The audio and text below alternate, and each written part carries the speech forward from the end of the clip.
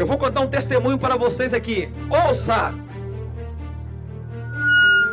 Certo dia, eu estava aqui nessa rua, no baile do Mandela que aconteceu aqui, ó. Presta atenção. Enquanto eu estava nesta rua, eu me lembro que falaram lá embaixo que a polícia subiria. E eu estava aqui nesta rua com a pistola na mão, mira laser, pente alongado.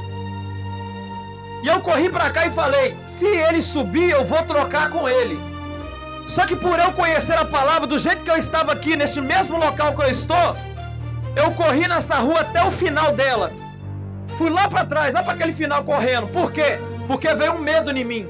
Se eu troco com eles e se eu morrer nessa troca, eu vou descer a sepultura e vou direto para o inferno.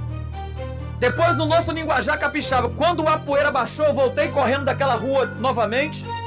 Parei no mesmo lugar que eu estava aqui. E eu falei desta maneira com Deus: falei, Senhor, se o Senhor usar um profeta para falar comigo, que está me dando a última oportunidade, eu te aceito, te aceito do jeito que eu estou, largo tudo para trás e vou te servir. Passou uma semana e quatro dias depois deste baile. Eu fui numa igreja. Deus usou um profeta para falar comigo, que estava me dando uma última oportunidade.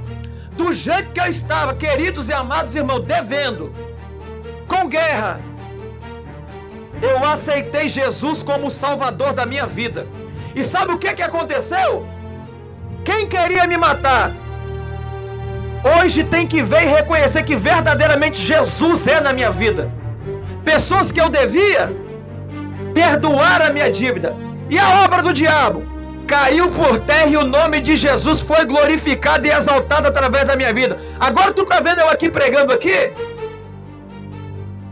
Hoje, para a glória de Deus, Deus arrancou eu deste meio que eu vivia, neste lugar, e tem levado o Brasil afora para dizer que ele cura, salva, transforma, liberta e ainda leva você para morar no céu. Mas tu acha que Jesus fez isso só na minha vida porque achou eu melhor do que alguém? Jesus não faz acepção de pessoa. Jesus quer usar você, enviar você também nação afora para pregar o evangelho. Só que para isso não depende só dele, mas depende primeiramente de você querer deixar Jesus fazer a obra que ele tem a realizar na tua vida. Enquanto você ficar nessa relutância, você vai continuar na mesmice, no mesmo lugar que você está, sendo humilhado, pisoteado por Satanás. Mas quando você levantar as mãos para Jesus, aquele que te humilhava, terá que ser humilhado pelo poder de Jesus por intermédio da palavra que sairá da tua boca. É essa palavra aqui que eu estou pregando para você. Esta palavra tem poder de libertar, tem poder de transformar.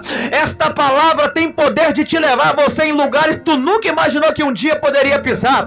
Eu estou pregando aqui, olha para mim, eu nunca imaginei que Jesus me levaria dentro da favela da Rocinha. Nunca imaginei que Jesus me levaria em um lugar que eu não pisaria sem Jesus, que se eu pisasse, me mataria Nunca imaginei que Jesus me levaria em tantos estados brasileiros. Jesus tem levado, porque Ele pode todas as coisas, mediante a nossa entrega, a nossa renúncia e a nossa vontade e disponibilidade de fazer a obra dele. E Jesus conta contigo, você que está me ouvindo, irmão e irmã. Jesus, Ele não projetou você para morrer no tráfico. Jesus não projetou você para morrer na prostituição. Jesus não projetou você para morrer na droga. Jesus deu a vida dele, comprou você, você é propriedade exclusiva dele, para que tu faça a obra dele por excelência, para que tu pregue a palavra, para que tu viva experiências sobrenaturais, para que tu veja que só Jesus tem todo o poder, só Jesus pode libertar você, só Jesus pode defender você, só Jesus pode levar você além do que você imaginou que você poderia ir.